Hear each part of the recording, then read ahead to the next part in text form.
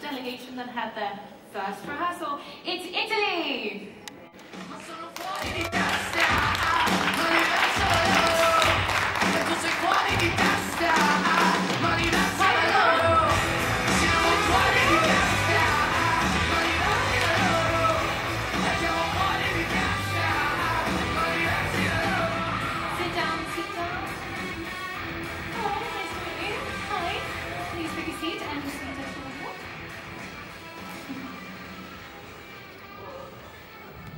Emotions after the first rehearsal.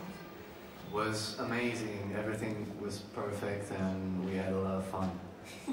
The stage is huge and incredible. Yeah. Absolutely. How did you find everything? Is everything okay? Did everything go as well as you did in Italy? Yes, yes, even better. Yeah. I think it's the energy of the stage, right? It makes you really come alive and feel the music for the first time, like in Yeah. the arena. Yeah, it's so crazy with all the lights and the fire and everything. Yeah, It's please really- watch out for pyro. Yeah, yeah.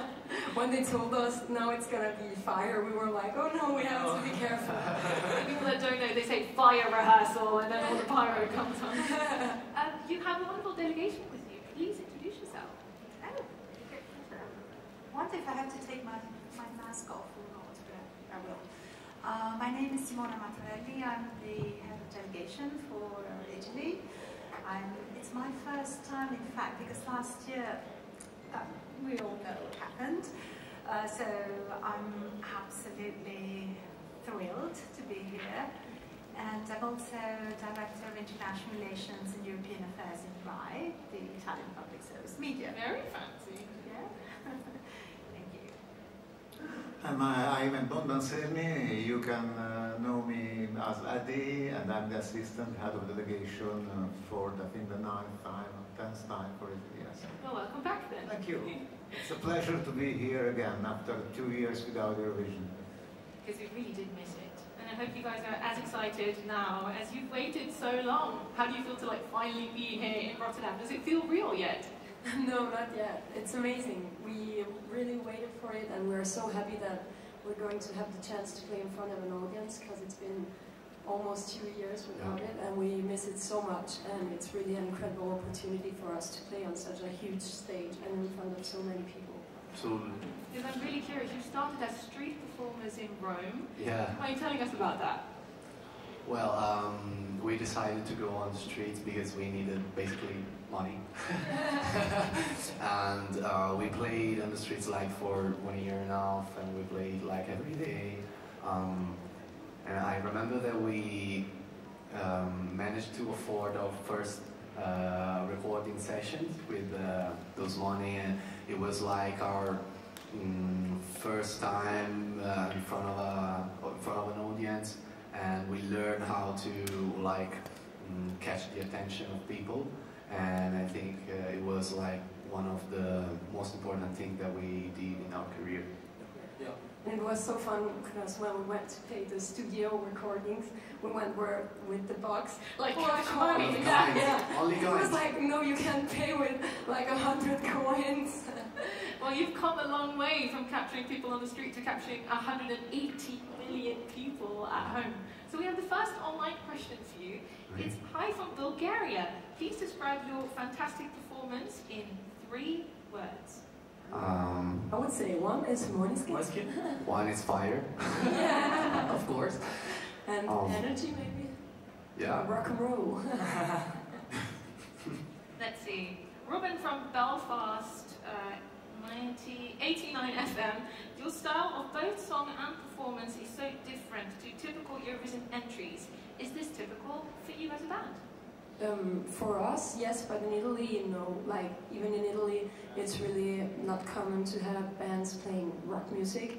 Uh, it's not really the most listened to. So yeah, it's kind of untypical, like almost everywhere we go. But like we we love this and we just Love do it being 'cause- typical. yeah. What bands most influenced your sound? Um, I would say me as bass player, uh, Arctic Monkeys, Franz Ferdinand, and maybe Royal, Blo- Royal Blood. Nice. I like Me, the Led, Led Zeppelin and uh, North Peppers on this band. There's really good bands. Um, I think one, one of my favorite band singers was uh, Steven Tyler from Aerosmith. For me, um, probably Stewart Copeland, The Police. Classics. Really Yeah. Classics. Everyone here in the venue, do you have a question?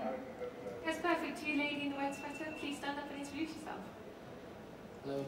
Hi. Hi, Hi, I'm Stella from Greece and EurovisionFun.com. First of all, you were amazing. Congratulations. Thank you. And uh, I want to ask you, you're the first, it's the first time Italy sent a rock song. Yeah. How you feel about it? We feel proud in a way because we're really happy that we managed to come all this way and to win Sanremo and then to perform here. Uh, even if this song maybe isn't like what is most usual to be in Eurovision and even in Italy when we won Sanremo everyone was really surprised because um, like rock isn't really a thing in Italy but we are really happy that it's going well. Another Thanks. question from the venue? Yes, madam with the headphones. Hi, my name is Vera from Eurobox. I wanted Hi. to uh, ask you about the staging because uh, you could have introduced uh, more elements, but you decided to keep it simple, like a rock band. Uh, can you tell us about what uh, you had in mind for a Yeah, um, we wanted like to keep the focus on the music and on our performing. So we decided to uh, like use a stage with not much things because we're enough. yeah, we wanted like to keep their attention on us like at our concert, at our gigs. I have another question from online. Hello, I'm Bernardo from the website eFestival PT.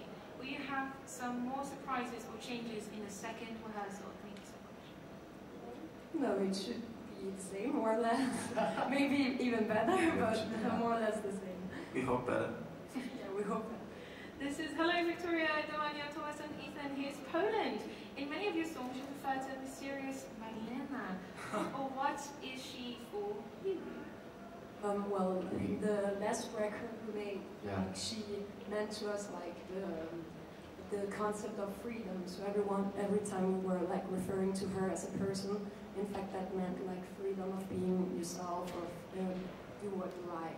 There was a, like a metaphor to explain our message uh, through like a name and more personal. Perfect. Any questions here from the venue inside? Yes, you. Hi, Hi. I'm from Eurovisionary, and actually I have two questions, one for the whole band, the other one for Victoria. I can ask the two. Uh, okay. The first one would be, uh, what is the greatest musical memory that you have? And uh, to Victoria in particular is, uh, have you thought uh, about Denmark to, to the band, apart from the name of the band? Okay. Um, This question, I think, uh, personally, I would say like Sanremo and have the occasion to be here and play our music in such a huge uh, event and stage. Yeah, for me, even when we used to play on the streets, because like at really first when we really like started to enjoy playing in front of people and we overcame like the fear of being on stage and having people to watch you. And uh, about the second question about Denmark, yeah, I thought about it, even like the name, but uh, other than that, it's really um, an important country for me because I'm half Danish, and uh, I think during like even our career, it helped us because we went to Denmark and start even there to play, and we played like in some pubs and stuff, and uh, that was really amazing. Yeah. Would you mind telling us more about the band's name? Because it's quite a special story. yeah, it was actually like really random because we we first started playing together, and then we had to um, play in like this um, event where Contest. yeah, in this Contest, yeah. contest, and we had to choose a name, but uh, we had no ideas, so they started telling me, okay, just say some cool words in Danish, and then we will choose one, and then we can change it later. Um, so then we, we chose Måneskin, but uh, we didn't change it since because it worked. yeah. It does sound really cool, and it's very close to you because it's part of your heritage. Yeah. I think we have a selfie moment right here. a sneaky selfie moment. Because you guys, rock music is not very popular in Italy, but your song is in Italian. Was that on purpose to kind of make Italian people more familiar with the sound? Yeah, um, I, I think that for us it was really important to bring this genre in our language because we're Italian and we love our language. And uh, we also write songs in English, but it was like also a challenge to write some like Italian lyrics on rock music, and we're really proud of the result. Your fashion is also very distinctive, and someone told me that a big influence for you is Harry Styles. Is that true? Yeah, we take like inspiration from a lot of bands in the past, and Yes. yeah, even Harry Styles, he's very cool. very much not a band in the past, but Yeah, no, he's very in the present, but I think he takes inspiration from bands in the past also. I do think so. The pants are too big to kind of be recent, Yeah, aren't they? exactly. Definitely. And when you first arrived in Rotterdam and when you first experienced kind of the Eurovision experience, was it everything that you expected? Were you surprised by anything? Uh, like we came here with no expectation, so everything is a surprise. Everything is a big surprise. We're really happy of what's happening here. Any questions? Yeah. Hello Team Italy, JP from Radio International. Hi. Uh, welcome to, you, to the family of the Eurovision Song Contest, uh, now with your participation, part of the family. But Eurovision has a big history, especially also with Italy, uh, and Sanremo Song Festival. What are your memories from childhood at- of the Eurovision Song Contest, especially for Italy? Um, I remember like watching it when I was in Denmark with my Danish family. And um, from Italy, like even Marco Mengoni, he's kind of our, our friend. We know him really well, and so we watched even when, when he came to Eurovision. It's really nice. Also Francesca. Yeah, also yes, Francesca. Francesca. Francesca Michielin. Francesca is our friend, actually. So. I remember when Lordi won with Hard Rock Hallelujah. I loved it. I was like nine years old. That might have started the spark of Yeah, exactly. Yeah. Any other questions here in the venue? Oh yeah, exactly. Oh, even for me, Michael, Marco Mengoni, uh, even for me, same, yeah, Victoria. I think I. Also from him. Yeah, I think I started to watch it like when Francesca came first time.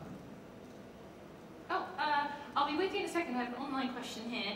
Madeleine from Eurovision Bulgaria, do you have a special ritual before going on stage? Um, we say a lot of bad words between us. I see the delegation is kind of chuckling in the corner. Do you have any opinions on this very special ritual? It's, it works very well, so I would use it as well, most probably. Are you happy with how, the, everything's going, the rehearsals? Very much so.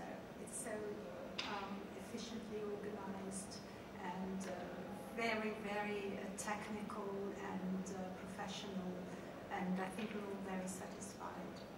Starting with them, I hope. Are there any words you could repeat from the ritual, is that too cheesy?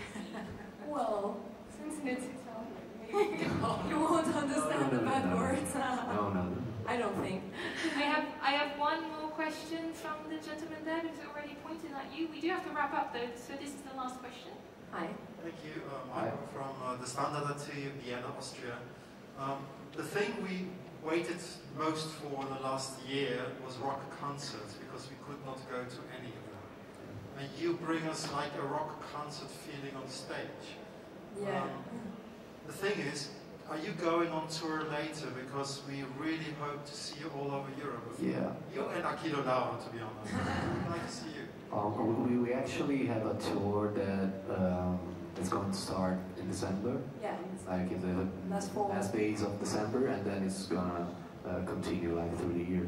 Yeah, and for Europe, we hope as well as soon as maybe this COVID situation is a little bit more manageable and we will be able to go to other countries, that we will have the chance to play in other countries too. Because we already played like in Europe two years ago, and we can't wait because it was really a nice experience, and we love to play in front of like even new audience that doesn't know us in different countries. So we really look forward to it and hope it's gonna be possible soon.